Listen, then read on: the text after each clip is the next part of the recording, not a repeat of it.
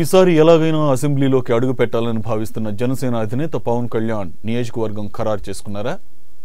పోయిన చోటే వెతుక్కోమన్న సామెతను ఫాలో అవుతున్నారా? అదే నిజమైతే గత ఎన్నికల్లో ఓటమి చెందిన గాజువాక భీమవరం నియోజకవర్గాల్లో ఏది ఎంచుకుంటారు? ఆ ప్లాన్ వర్కౌట్ అవుతుందా?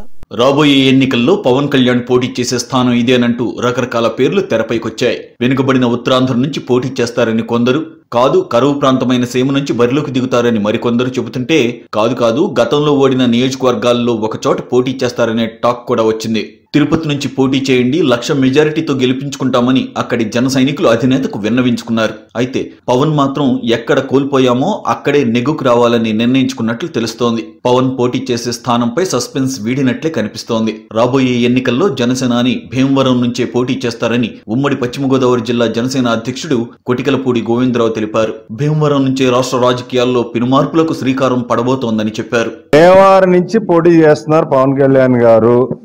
ప్రజలందరికీ కూడా ఆయన అందుబాటులో ఉంటారు. మేమందరం కూడా ఆయన తరపున అందుబాటులో ఉన్నాం. డెఫినెట్గా రాష్ట్ర రాజకీయాలన్నీ కూడా భీమవరం నుంచే అడుగులు పడతాయని చెప్పేసి గంటబలంగా చెప్తున్నారు రాబోయే రోజుల్లో జనసేన కీలక పాత్ర వహిస్తుంది. రెండు వేల ఇరవై నాలుగు ఎలక్షన్స్లో జనసేన లేకుండా ప్రభుత్వం స్థాపించబడదు.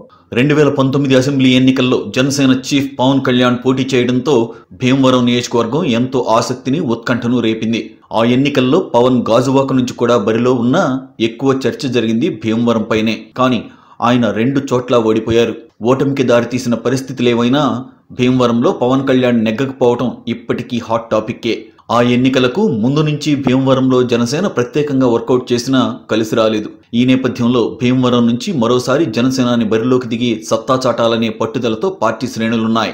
జనవాణి జనసేన భరోసా కార్యక్రమానికి భీమవరాన్ని పవన్ ఎంచుకోవటం కూడా అక్కడి నుంచి పోటీకి గట్టి సంకేతమని భావిస్తున్నారు.